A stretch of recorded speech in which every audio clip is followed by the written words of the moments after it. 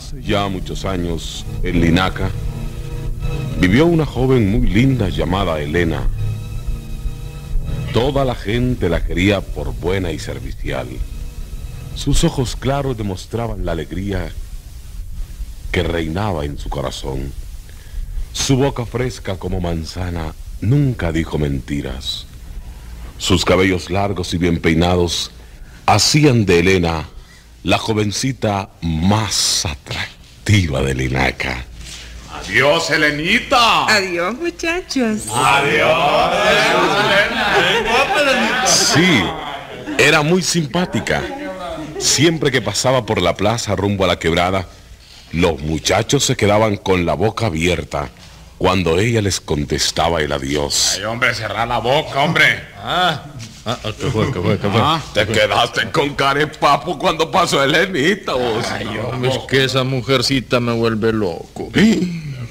El otro día soñé que la estaba abrazando y que la besaba. Ay, ay, ay, ay, ay, que, que no me van a creer. Ajá, hombre, ¿qué pasó?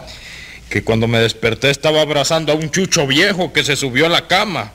Hubieran visto qué peloteado el que le saqué.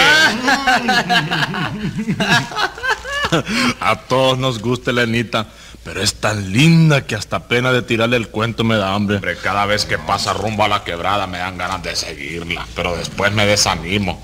Un día de estos me voy a zampar un octavo de guaro para agarrar fuerza y así decirle un par de jayanadas, hombre.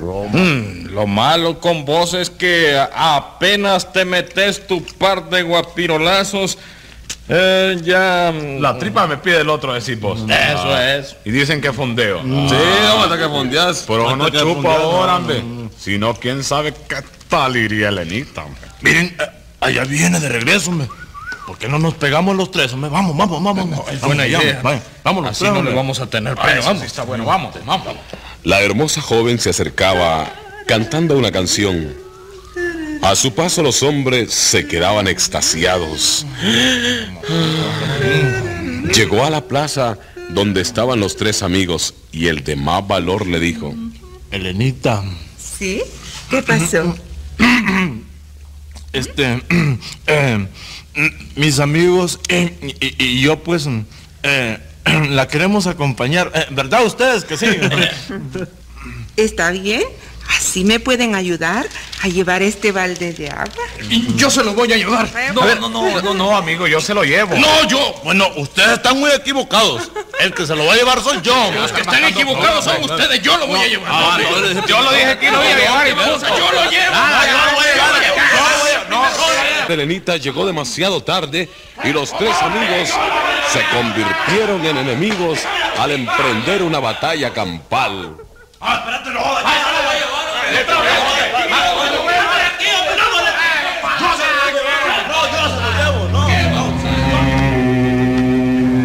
fin llegaron los vecinos y desapartaron a los revoltosos, mientras que Elenita abandonaba el lugar cantando y con su balde de agua. Los aporreados amigos, rojos de vergüenza, estuvieron escondidos de la gente durante mucho tiempo. Y una tarde que Elenita fue a la quebrada a traer agua, empezaron a caer piedras a su alrededor. Extrañada preguntó, ¿Quién es? ¿Quién tira piedras? No saben que me pueden golpear. Una risa jovial y alegre la sorprendió. Pero ahí no había nadie. Luego cayeron varios ramos de flores a sus pies. ¿Y eso? Y en una pequeña colina vio a un joven apuesto, con botas rojas, pantalones estrechos y camisa blanca de encajes. Su pelo era rubio y mantenía una sonrisa inconfundible. Al verla exclamó, Hola, mi amor. Siempre llevando agua, ¿verdad? En primer lugar, no soy su amor. Y en segundo, ni lo conozco. Así que deje de andar tirándome piedras y arrojándome flores a los pies. Aprovechado. No tengas miedo, corazón, que de todos modos tenés que quererme. ¿Eh? ¿Y usted qué está pensando? Que yo soy propaganda. antes de que terminara la frase, El joven de las botas rojas desapareció. Asustada, regresó a su casa visiblemente alarmada. Sus familiares, que nunca la habían visto así, le preguntaron qué le pasaba. ¿Qué fue, Lenita? Que venís corriendo, pero ¿qué te pasa, muchacha?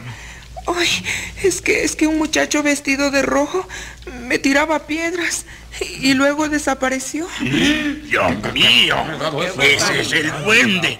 No tarden en aparecer por aquí, Dios mío, Jesús. Todos los de la casa se alarmaron. Habían oído decir que el duende era un hombre bajito de sombrero alón, pero el que había visto a Elenita era un joven muy guapo, risueño y rubio. El viejo no se equivocó, porque a los pocos minutos de haber llegado, Elenita gritó. ¡Ahí está el muchacho! ¡El de la quebrada! ¿A dónde, muchacha? ¿A dónde? ¿A dónde? ¿Dónde? En la silla, en esa. No veo nada, yo no veo nada. Ni yo, yo no veo nada.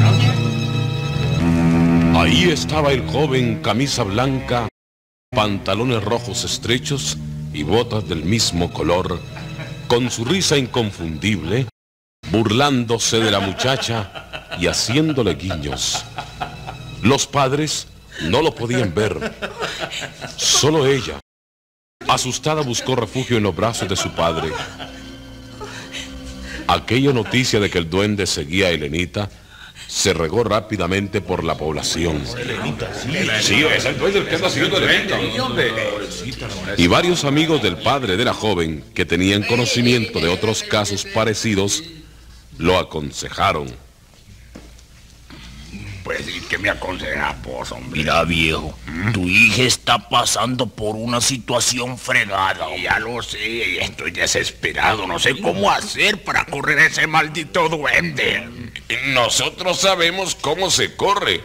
Solo tenés que poner una fiesta, hombre. Invita a los muchachos y muchachas y vas a ver que se va la porra. Hombre, ¿creen que eso lo correrá? Sí, hombre, ya hemos visto correr al duende con, con fiestas, hombre, sí, eso es verídico. Ojalá, ojalá, pues hoy mismo, hoy mismo rieguen la voz de que esta noche doy una fiesta, que se alisten todos y va a haber chupa gratis.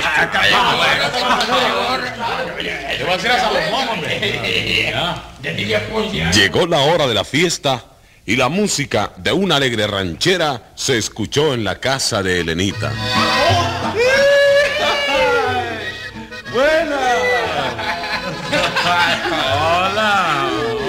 Elenita. Hola, Elenita, ¿cómo está usted? Ahora bailemos. Bailando, sí, ¿cómo no? Ay, cómo no, vamos a, a gastar suela. Vamos, vamos, vamos. una fiesta que me gusta, donde abunda la costura.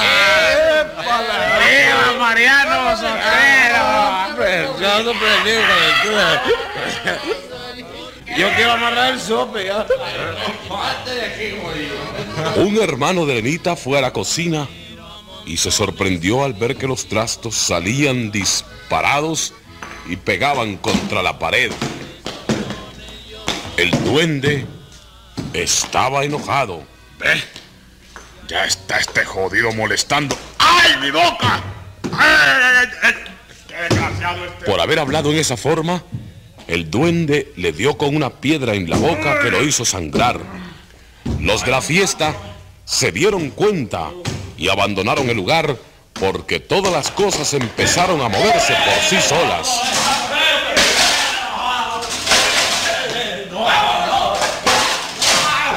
Ni con música se fue el duende. Pasaron los días. Cuando las mujeres barrían, les quitaba la escoba. Le daba empellones a Elena y se golpeaba. Pero solo ella lo miraba. Siempre le hacía guiños y la pellizcaba. Otros amigos del padre de Elena lo encontraron y le dijeron,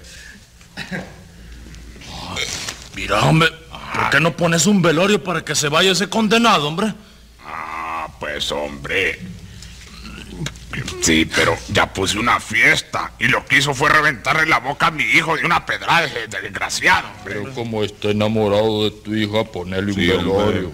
creen? Vas a ver que si se arrecha se va a ir de un solo. Sí, hombre, se va a ir a No se chingar. va a ir. Voy a pensar bien. Eso es lo que te digo. Así fue.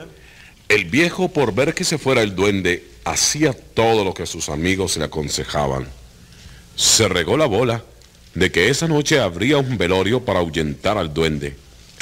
Mataron un cerdo para darle a la gente y consiguieron guaro y café. A la hora indicada, empezaron a llegar los vecinos. Buenas. Buenas noches, ¿qué Ah, tal? Juan Cracio. Ya están listos para empezar la papada. Sí, hombre. Ya. Sí, hombre. Ojalá ese duende se vaya a la chingada de una sola vez y dejen paz a mi hija. Eh, eh, do- ¿Dónde, dónde, dónde está el guaro? Ahí en la cocina, mijo. Ah, Este solo viene a chupar, hombre. Puchica. Déjenlo, vayan, sírvase usted mismo, hombre. No, así es la cosa. Pues retiro lo dicho con su permiso, señor. Ya, ya, bien, Bueno, pues, bien, A chupar, David. Ve, este estaba hablando de aquel y son iguales de gorrones. Oye, me voy- yo me voy a echar mi octaviano. también. Puchica, llegaron los corrones. La gente platicaba animadamente. En aquel velorio habían puesto una caja para aparentar que en realidad se estaba velando un muerto. Y a eso de la medianoche, cuando todos estaban más borrachos que el guaro, empezó lo triste. Unas botellas de aceite que tenían en la cocina del chancho que habían matado, se levantaron lentamente y chocaron en el aire, haciéndose mil pedazos. El aceite bañó a los que estaban comiendo y chupando en la cocina. Al ver aquello, salieron, corrieron despavoridos por una puerta que daba al solar. Los que estaban en la sala no se dieron cuenta de lo ocurrido. De las cuatro velas que habían colocado alrededor del ataúd, una se apagó. Elenita dijo, ¿Ve? Se apagó una candela. La voy a encender. a encenderla iba cuando oyó que alguien apagaba las demás. Se llenó de pánico y dijo, Ay, Dios mío, el duende. sin embargo, nadie la escuchó ni se fijó que las velas habían sido apagadas. Estaban muy entretenidos, moviendo las mandíbulas y chupando guaro. Y de pronto, en el centro de la sala, y propiamente donde estaba el ataúd, oyeron un estruendo que los hizo ponerse pálidos. Seguidamente, el ataúd se levantó en el aire y empezó a sonar de una forma rara. De los ahí presentes, nadie miraba al duende, solo Elenita. Como movidos por un resorte, hasta los que estaban ya para fondear, se les fue la juma y salieron corriendo más rápido que un avión cohete.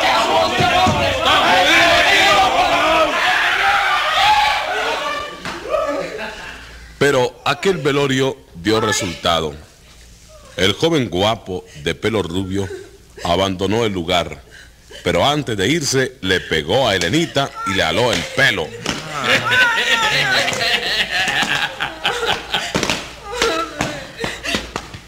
A los pocos días, Elenita se enfermó y murió de un mal extraño. Dicen que el duende se la llevó y que a veces, a medianoche, cerca de la quebrada, a inmediaciones del Inaca, se escucha la risa del duende y la dulce voz de Elenita. Espérame, yo te alcanzo.